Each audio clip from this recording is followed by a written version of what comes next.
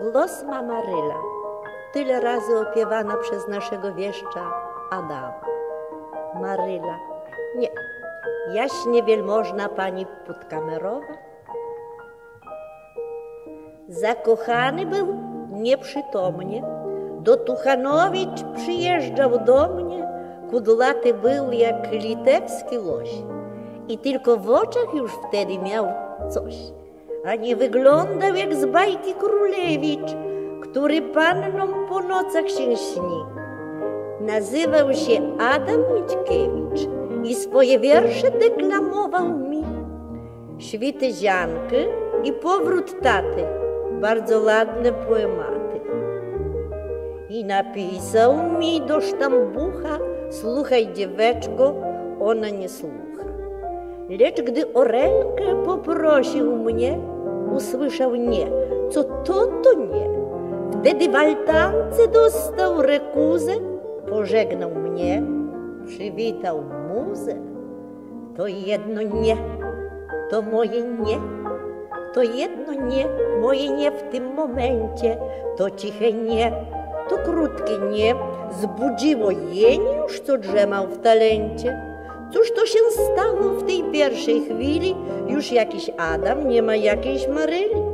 Dlatego, że ją kto inny dopieszcza?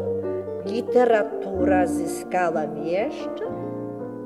Literatura, literatura to nie jest tylko zasługa pióra. Trzeba dziewicy, która wie, kiedy poecie szepnąć nie. Kiedy o tym tak myślę dzisiaj, to tylko ja i Śniadecka Ludwisia, myśmy zrobiły to we dwie. Chociaż jej łatwiej przyszło niż mnie. Lecz ona także wybrnęła z zasadzki, kiedy poecie przyszło sprawić ból. Jej dziełem jest Juliusz Słowacki, a bez niej byłby mamin synek Jul. Temu już siedzieć zaprzeczyć nie da moje dziady jej Lilla Veneda, mój pan Tadeusz, jej król duch. To wszystko wyszło od nas dwóch. Sierzyś Krasiński, ach przykry dreszcz, też duży talent, a słabszy wieszcz. Lecz to niestety nie jego wina, przysięgłabym to ta delfina. Od rana tak, w południe tak, wieczorem tak, bez szczególnych perswazji, w ojczyźnie tak, na imigracji tak i człowiek nie miał do bólu okazji. Sam przyznał, że przez delfiny czary Bóg mu odmówił tej anielskiej miary. Szczęściem dla niego świat go umieszcza wprost dla symetrii też jako wieszcza. Literatura, literatura to nie jest tylko zasługa pióra. Trzeba dziewicy, która wie, kiedy poecie szepnąć nie.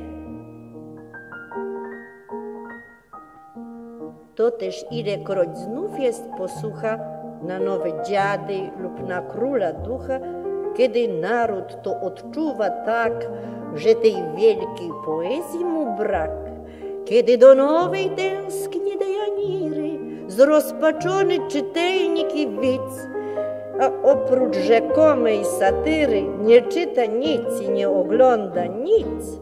Może talenta są tu niewinne, może powody są całkiem inne. Może poeci wielu ich rzędem za mało cierpią pod pewnym względem. Jak wielka jest, ach, bez dwóch zdań, odpowiedzialność polskich pań. Może nie, nie, to za okropne. Może dziewice są zbyt pochopne. Ach, mówcie nie, szeptajcie nie, bąknijcie nie, chociaż w pierwszej chwili szkoda. Dzisiejsze nie, kto wie, kto wie, pojutrze stworzy Konrada Walenroda. Niechaj pamięta dziewicza skromność, że na jej cnotę bardzo liczy potomność. Niechaj za ceny jednego dreszcza literatura nie traci wieszcza. Literatura tak się upiera idź panno zamąż za Putkamera. A gdy poeta u stóp lka, szepnij mu nigdy tak jak ja.